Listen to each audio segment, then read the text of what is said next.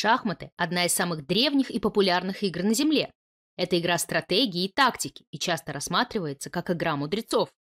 Но правила игры относительно простые, при желании научиться играть в шахматы можно практически в любом возрасте.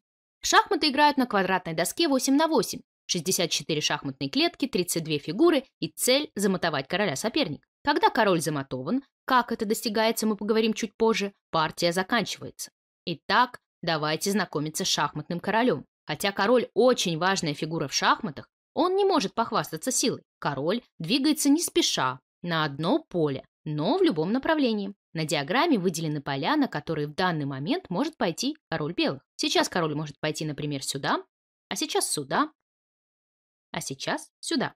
Перед началом каждой партии у белых и у черных одинаковое количество фигур. У вас есть король, у вашего соперника тоже есть один король. Игроки делают ходы по очереди, пока игра не окончена.